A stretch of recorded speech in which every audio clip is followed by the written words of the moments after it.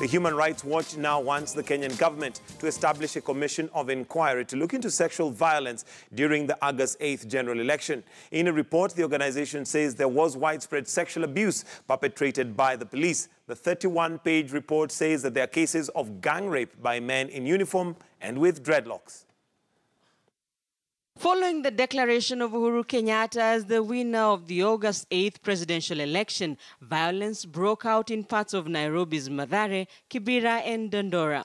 Violent scenes with police out to quell protests were witnessed in Kisumu and Bungoma. The Human Rights Watch in a report says women faced sexual abuse during the protests. There was widespread sexual violence in terms of the locations where it happened and the numbers.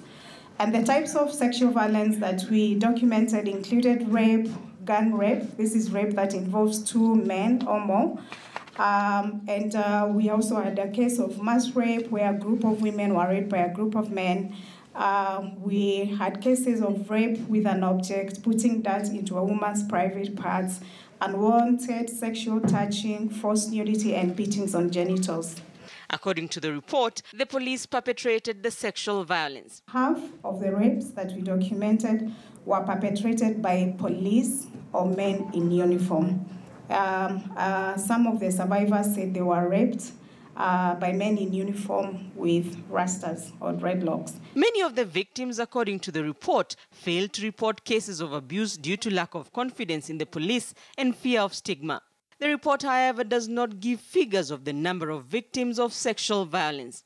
It is not a quantitative research, so I cannot tell you that a thousand women were raped during the election. What this report does is that it really sets out details of how this sexual violence happened, who were the perpetrators, and what was the state response. The Human Rights Watch now wants the government to prosecute sexual crimes and address needs of the victims.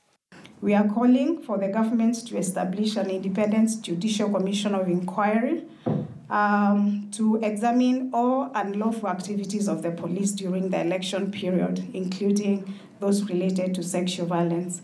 And the objective should be to ensure there is accountability for that.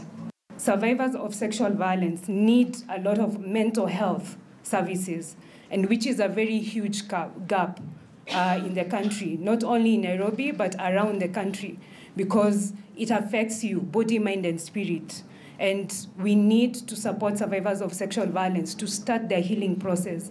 And it's a journey, it's not an event, it's not a one day um, affair. It's a journey that we need to invest in.